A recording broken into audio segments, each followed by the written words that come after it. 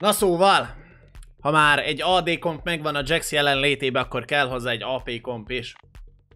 Az AP komp, amit ma szeretnék nektek megmutatni, eléggé poggers, az nem más, mint a Misfortune Carry.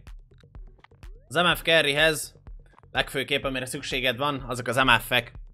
Azon belül core item neki a Shojin, utána pedig jöhet akár Archangel, ami nagyon-nagyon jó neki, de ami kifejezetten jó, az Radiant itemek közül, ha van akkor a mákod, a hexek. A hexek a Radiant formában ne felejtsétek el, hogy nem csak a hordozóját híleli, hanem a teamjet is. Na most. Kiegészítő unitok. Általában úgy néz ki, hogy kavalierekkel játszott be.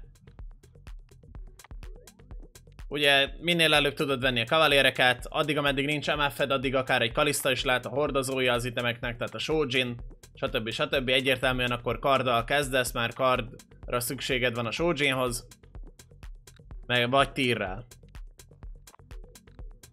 Amire szükséged van egyértelmű még ugye a Sejuani, majd a Rel.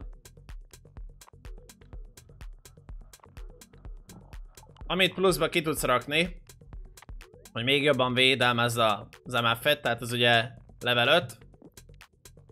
Akkor level 6. Level 6 az ugyebár a két knight -al.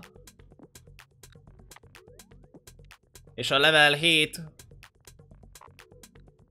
az meg a rel, hogyha jön magától. De addig is tudsz akár más unitot is, Canonért is játszani. Ezt a kompot level 7-en kell rollolnod, illetve ha nagyon-nagyon adja az MF-eket, megállhatsz level 6-on is, de jobban ajánlom azt, hogy inkább menj level 7-re. Legtökéletesebb itemeket akár meg tudod nézni a tftcoach.org-on is az MF-re, de javarészt ezt fogja ajánlani. Miért nagyon jó ez így? Mert a kavalérek elég tankosak, tehát a kavalierekre bármilyen, legfőképpen Hekarimra nagyon jó tankos itemeket összerakhatsz, ami kimerül abba, hogy akár egy téged is lemelhetsz neki.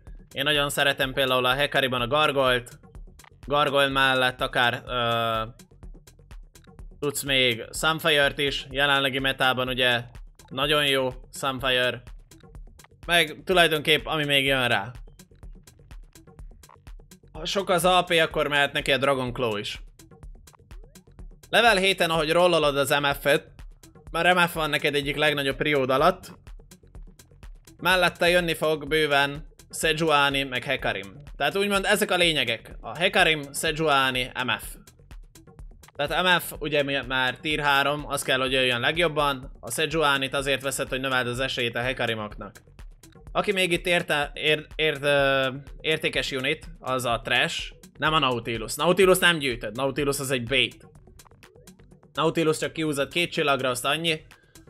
De a Trash azt meg, ha kitrésztározod, one fogja a backlane Javarészt így tömöríteni szokták a tímet, azért, hogy nyugodtan szaladjonak rá, minél nagyobb kupacba legyenek, hogy az MF-et egyre jobban kihasználd. Level 80, meg akár berakhatsz egy Canonért, ízlés szerint, de szerintem mindenféleképp Lucian-re fog esni a választás. De addig nem mész level 8-ra, ameddig az MF-ed nem 3 star. Tehát szükséged van az MF-re level 7-en 3 starra, level 7-en ha rosszul indulsz meg, és még nincs kettes MF-ed, akkor a csirkéknél, vagy a csirkék után 4-1-nél rollolsz addig, ameddig nem lesz legalább kettes az MF-ed, kettes a Hekarimod, meg kettes a Sejuanid. Kell a frontlane, frontlane nélkül be fogsz dögleni, ha bedög lesz, minusz AP. Very nice.